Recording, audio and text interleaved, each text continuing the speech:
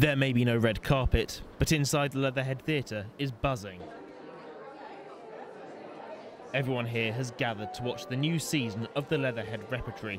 We started this rep season back in April, actually, this year, when we revived repertory theatre at this theatre, the Leatherhead Theatre, for the first time in nearly 30 years. So it was a, a big thing for the town and a big thing for the theatre. The importance of promoting the show is shared by many within the industry. This is the theatre where I, I used to come as a child, where my grandparents used to come to support this theatre. And um, you know, they used to have a couple of dogs in the foyer collecting money and everything. So I have a long, long association with this theatre. I'm so glad it's being picked up and turned into the rep it always should have been.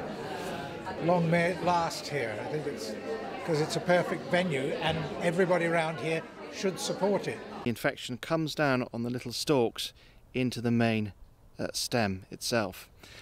Often it leaves these characteristic they're called diamond shaped lesions, such as the outline you can see there. That's where the infection is now inside the tree.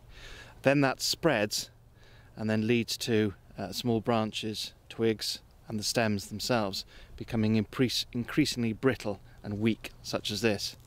And you can see that within that one, how easy that was to snap, but the disease has gone right inside the tree and therefore the, the timber has all rotted away. The UK's ash trees are under threat. Ash dieback is a fungal disease which is affecting uh, our ash trees on our estate, but ash trees right across uh, Britain and Europe. Well, it's certainly been an uh, intense day in court. The jury have heard that Miss Naz used offensive language against an employee whilst in the car park of a Tesco's following an incident. The case will continue tomorrow with Miss Naz taking the stand. I've just bought this piece of vegan fried chicken.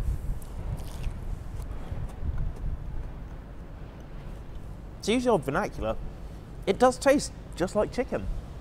But it's actually made out of this, seitan. It's not just historical uh, stamps on sale here, it's also some more contemporary ones, such as Star Wars.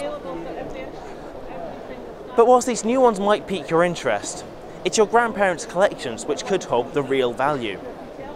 This is Graham Osborne, City News.